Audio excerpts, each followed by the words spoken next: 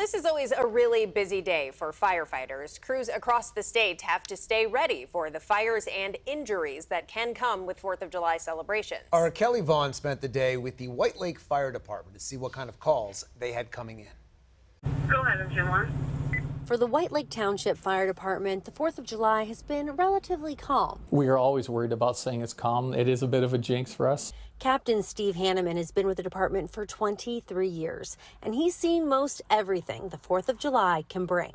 We've run into uh, structure fires from fireworks that land on, on people's roofs, minor um, burns from fireworks. We've had uh, fireworks that people think that they are they're spent or used, and they weren't out. They throw them in the garbage, and their garbage cans would catch on fire, which would be by their homes. They got a call from someone worried about the amount of smoke they were seeing from what looked like a burn. There are rules to open burning, so we're going to respond to this and see what they're burning, make sure they're within the, the legal limits of open burning. And uh, if they are, we typically let them continue unless there is a medical um, issue behind the complaint. The burn turned out to be safe and legal. Captain Hanneman says with all the rain we've had lately, they aren't too worried about brush fires.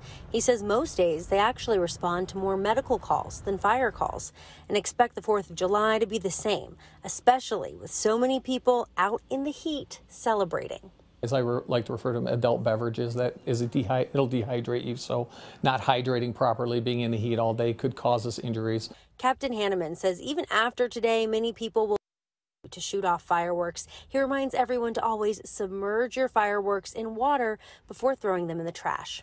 Reporting in White Lake Township, Kelly Vaughn, CBS News Detroit.